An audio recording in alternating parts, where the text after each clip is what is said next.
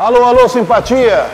Todos simpatizando do canal Sam, nós estamos mais uma vez no ar com Chefe Clóvis no canal Sam. Hoje nós estamos gravando na Vidraçaria Ourinhos, uma empresa inovadora, empreendedora e posso até dizer uma coisa. Eu fiz uma camiseta e passava na frente da vidraçaria, adote o maior abandonado. Eles me adotaram. Por isso eu estou gravando hoje aqui e já já vocês verão o que é que os patronos, idealizadores da vidraçaria vai comer e eu vou mostrar para vocês aqui no canal Santo.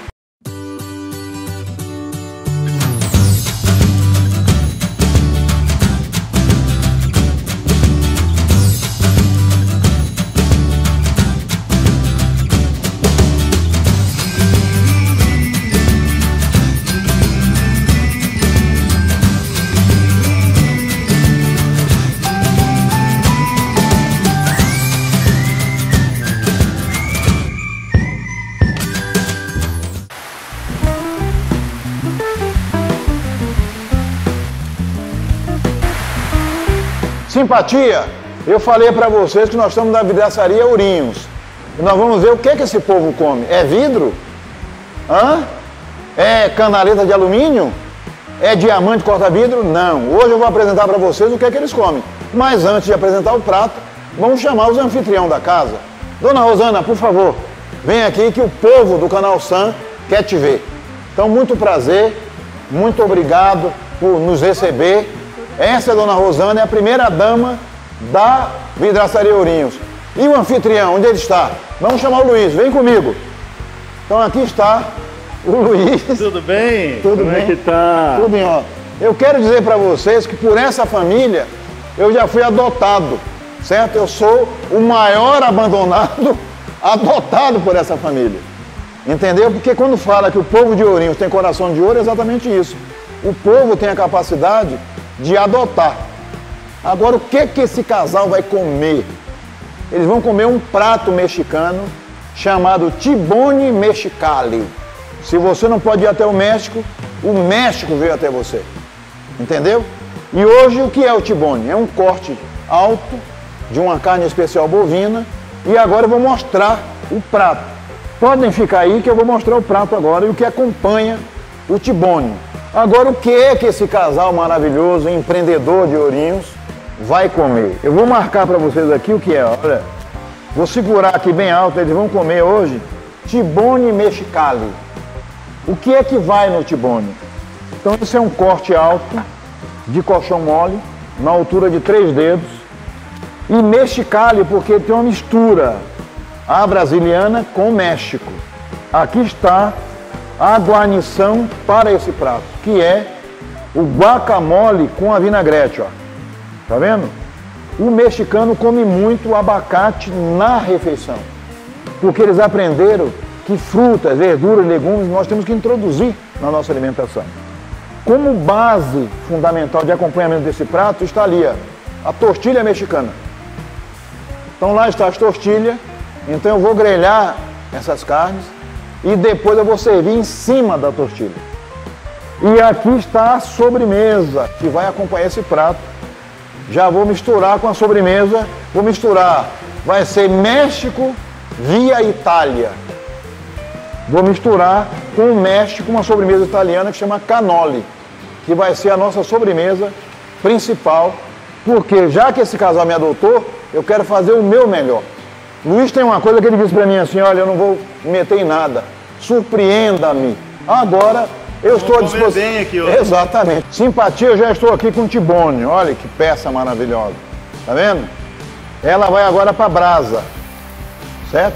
Eu coloquei o alface só como elemento decorativo, que é mistura bem, fica bonito o verde com o vermelho da carne.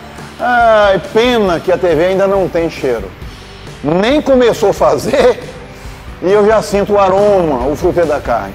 Certo? Se você quiser o chefe Clóvis na sua empresa, ah, mas ele só faz na vidraçaria Ourinhos, não, é para você também. Entendeu? Então eu vou selar ela dos dois lados e eu preciso ser hospitaleiro e bater um papo com os grandes anfitriões que me permitiu que eu viesse até aqui. Eu vou até eles agora. Luiz, o vidro te escolheu ou você escolheu o vidro? O vidro me escolheu. você sabia que uma das fórmulas fundamentais do sucesso é quando o produto escolhe a gente? Entendeu? Eu acredito que sim. É, porque quando, olha, vou dizer uma coisa para vocês, pode ser inusitado e inovador. Eu achava que tinha que ser pagodeiro, entendeu?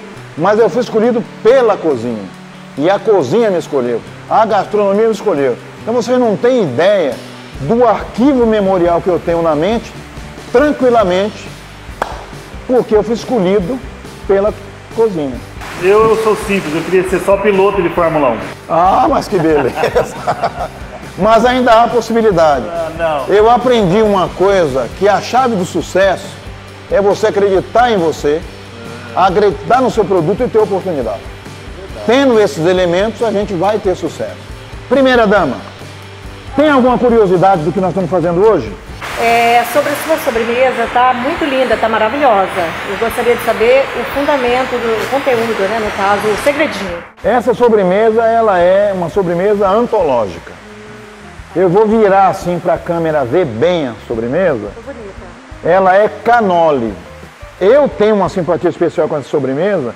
Ela é uma sobremesa que a primeira vez que apareceu em filme no mundo. Canole é do México também, não? Não, canole eu fiz uma mistura entre México e Itália. Se você não pôde ir na Itália nem no México, eu vou levar você lá. Então, canole é uma sobremesa especial feita na Itália. O que fez essa sobremesa se tornar famosa no mundo foi o filme Poderoso Chefão. Então nós vamos lá pelo sabor. Exatamente, eu vou levar você numa viagem emocional com a sobremesa. Muito bonito. Entendeu? Canole. No futuro próximo aqui no, na, no canal 21, no canal Sam, eu vou ensinar para quem quer desenvolver um empreendimento. Porque o canal Sam, qual é o objetivo? É fazer você ter sucesso. Qualidade você vê aqui mudando a sua vida. Esse é o nosso objetivo. Aí essa, essa maravilha aí. Ah, é muito bom. Eu vou pegar aqui para vocês verem. Aqui é a tortilha mexicana. Então, depois que o tibone estiver pronto, eu vou fatiar o tibone, rasgar ele mesmo na mão, no estilo mexicano. Vou colocar as fatias do tibone em cima. O avinagrete, que o mexicano chama de pico de galo, Interessante. com abacate. E ela é tão gostosa quanto o tamanho dela, não? Ah, certo. certo? E além disso, eu vou finalizar ela na grelha rapidamente. Então ela vai dar uma dourada e vai pegar o sabor da carne ao mesmo tempo.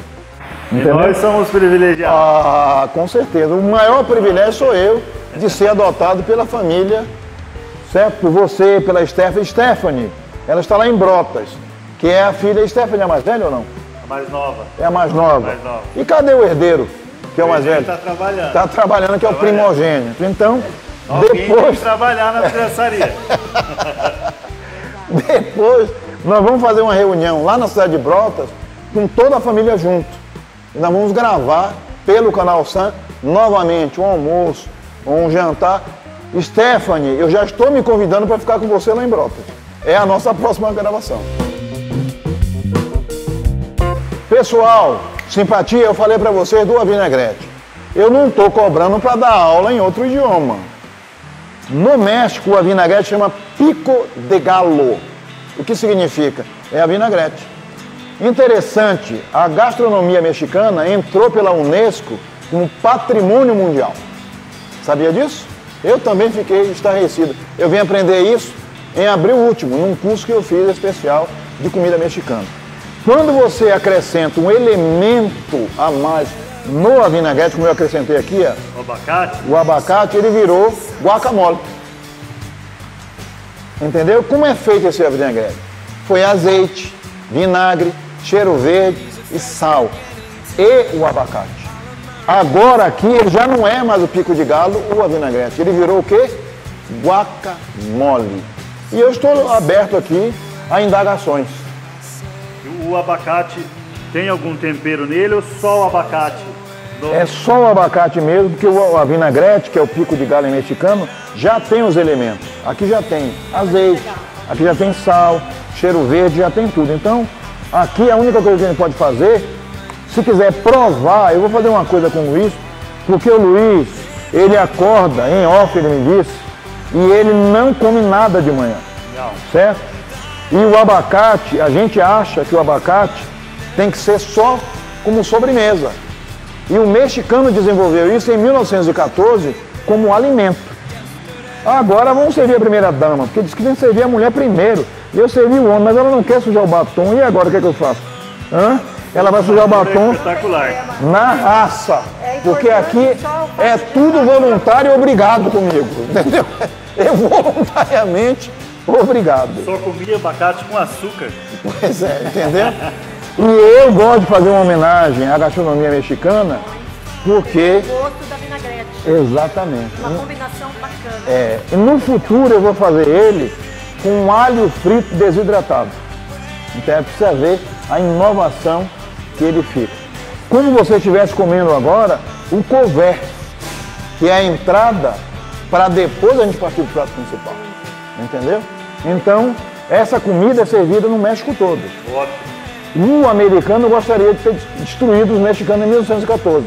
Mas hoje, em qualquer lugar que nós vamos no México, tem taco, tem tortilha, tem flauta mexicana, tudo vendendo na rua no México. Canal Sam é isso, qualidade de informação, você vê aqui.